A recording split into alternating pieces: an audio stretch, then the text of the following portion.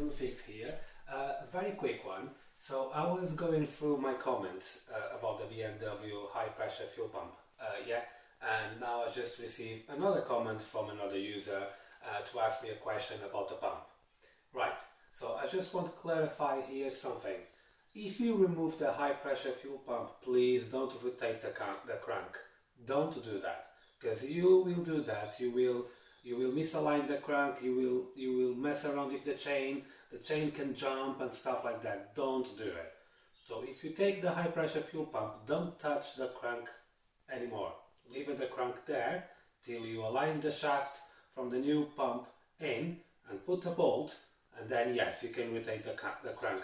Don't do if out the pump in. You can mess around with the timing, you can do lots of damage to the engine. So I see I probably got 11 or 12 comments about that. So it's better I do a video and then explain. Um, this is this is uh, quite a hard job to do. So please don't rotate rotate the crank. So I I think I, I did say this on the videos. I, I have to watch them again. But please don't do that. So if you remove the pump, don't touch the crank at all. Don't turn it. Even don't try start the engine or rotate the engine if the starter. Don't do that. Okay? So put the pump first, put the bolt in untied, then would rotate the, the crank. Another thing is, some of the people say after installing the pump, they cannot get uh, pressure on a rail. Okay, so it's two things for this. So number one, you need to prime the system a lot. I know some of you probably did, but you need to you need to prime probably let's say I would say five six times and just make sure or, if you can just press play on a, Delphi program or whatever program you're using BMW or Snap-on whatever just press uh, to um, ah Jesus Christ I just forget another word to prime the system yeah so just press the, the button and let the system prime maybe for one minute. Let it go, let it go, and wait for a minute at least, then stop. So what you have to do is, you have to try start the car. If the car don't will start, here is the trick I did. It's in my videos, so if you watch the videos, you will pay attention what is in there.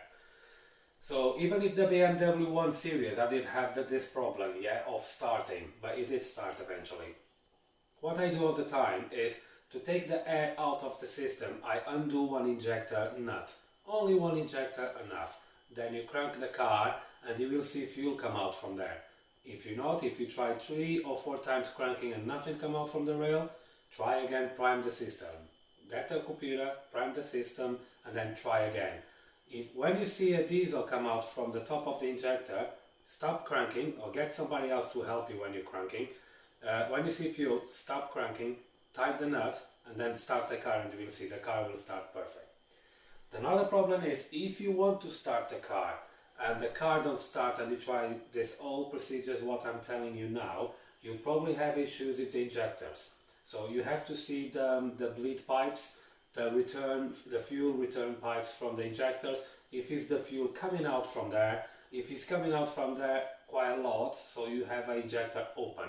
So it means it's open circuit inside so the fuel goes straight away to the return pipe. So you need to check the injectors as well.